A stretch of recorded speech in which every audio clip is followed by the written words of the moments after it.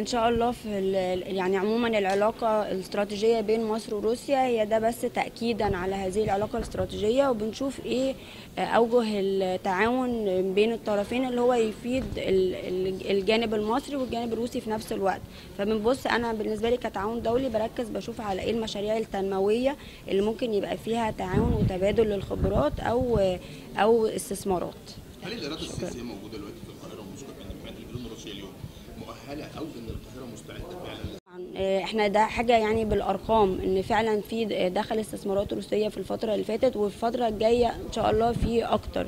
وده عشان كده إن اتعمل الاجتماع ده الموسع على مدار ثلاث أيام عشان نتحرك سريعا في آه، كتير من الاستثمارات اللي كانت نوقشت الفترة اللي فاتت وإن إحنا دلوقتي بنتفاوض عليها إن شاء الله نوصل لاتفاق نهائي.